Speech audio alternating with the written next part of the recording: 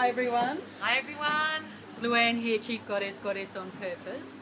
And I am sitting in the brown cow. There she is there. Oh. the brown cow in Hampton with my beautiful friend and goddess sister Lynn Bowker. So come over here, And I'm really excited because on Friday night at the Goddess Gathering in Pearcedale, Lynn is our amazing guest speaker. So I wanted just to share, I wanted to just have Lynn share with you a little bit about what Friday night's going to be about. So Lynn, what's it going to be about? well, Lou, I have thought about this for quite a while now. Yes. And I thought I'd just let it sit until something resonated with me, and it, and it has in this last week. I was watching something that that really moved me very deeply, and that's when I thought, okay, I'm going to share this with these beautiful women. I'm going to share this and have them.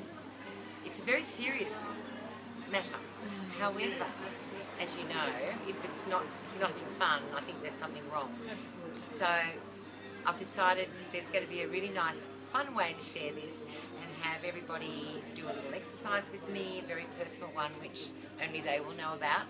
And um, hopefully there'll be some really nice aha moments in the shed this Friday night. Yes. So uh, I'm really excited about being there and having a bit of fun with the girls. Beautiful. So, it's this Friday night in Pearcedale. There's a link that you can go and book. It's for three hours. We do lots of beautiful exercises, and Lynn is the main attraction. So, and it's very special to get to the Goddess Shed. So, I'm totally honoured, and I've had a sneak preview of what she's sharing. And I'm not going to tell you, but it will be fun. Look at this amazing woman. And let me tell you, it's going to have something to do with glasses, okay? So bring so a pair. Yeah, if you've got any really like old glasses, bring them along, okay? I could really use some more props. That's all.